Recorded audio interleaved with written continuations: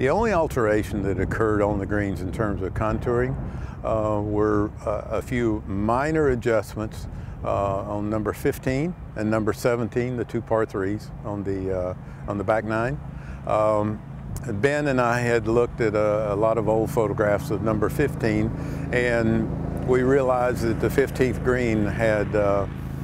had crept inward away from the right greenside bunker um, a considerable amount, as much as five yards uh, away from that bunker from where it originally had been, and therefore some pin placements had been lost that were that would have been closer to the bunker. Um, Mike Davis, uh, one of his first questions was, if we work on this, could you